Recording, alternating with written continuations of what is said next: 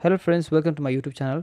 तो आज मैं रिव्यू करने वाला हूँ लॉन्ड्री बैग का। बेसिकली ये बैग है, आप देख सकते हो इस तरह से पैक होके आया था और मैंने इसको अमेज़ोन से ऑर्डर किया था। ये है टू फोर्टी नाइन रुपीज़ का। प्राइस मेंशन किया गया है बट मैंने इसको लिया है वन फिफ्टी नाइन रुपीज़ का लिया है। और चलिए इसको अनबॉक्स कर लेते हैं एक बार। और इस तरीके से पैक होके आया था। आप इसको देख सकते हैं, इसको ओपन करते हैं। बहुत ही लाइट वेट है ये। और इसमें बहुत सारे आप कपड़े स्टोर कर सकते हैं लॉन्ड्री के लिए। जैसे आप वॉशिंग मशीन में डालने से पहले बहुत सारे कपड़े में जो गंदे हो जाते हैं इसमें आप इसमें स्टोर कर सकते हैं। और वीकली कपड़े जो भी आप हम रोज़ पहनते हैं वो गंदे हो जाते हैं तो उस हम कपड़े हम डाल सकते हैं यहाँ पे। तो इस से मैं अपने कपड़े रख रहा हूँ और मैं दिखा रहा हूँ कि इसमें कपड़े कितने कपड़े इसमें स्टोर हो सकते हैं।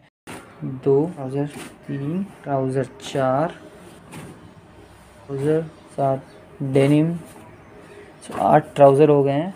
तो एक टी शर्ट दो टी शर्ट तीन टी शर्ट चार।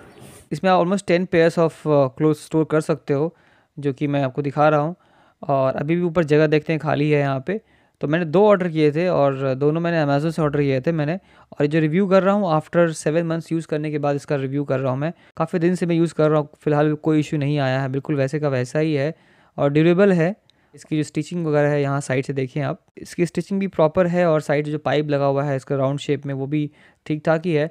और इसमें आप डेली के कपड़े स्टोर कर सकते हैं, जैसे हम गंदे होते हैं, बाहर से कभी आते हैं तो एक दो दिन पहन कर उसको इसमें आप स्टोर कर सकते हैं। फिर आप वॉशिंग मशीन में इसको जब वॉश करना होता है थ्री फोर डेज़ के बाद तो वॉश कर सकते हैं। इसकी जो हाइट है वो एटीन इंच है और इसका डायमीटर है फोर्टीन पॉइंट फाइव इंच का डायमीटर है इसका।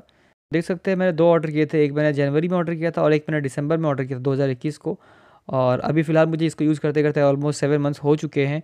और तब मैं ये रिव्यू कर रहा हूँ। इसमें आप अच्छे खासे एक हफ़्ते कपड़े इसमें स्टोर कर सकते हो। आप डिफरेंट डिफरेंट शेप में भी आता है बट मैंने राउंड शेप में इसको ऑर्डर किया था। क्वालिटी वाइज ठीक ठाक ही है, और मुझे क्वालिटी में कोई फ़िलहाल इशू नहीं आया है नज़र। तो इसकी जो रॉड लगी हुई, एक पतली सी रॉड है जो इसको राउंड शेप में रखती है, और इसकी स्टिचिंग वगैरह आप चेक कर लें। स्टिचिंग भी ठीक ठाक ही है तो फ़िलहाल अभी ऐसा कोई इशू मुझे नहीं हुआ है इसको यूज़ करते हुए। तो मैं ऐसे और भी यूज़फुल प्रोडक्ट्स के रिव्यू फ्यूचर में लाता रहूँगा।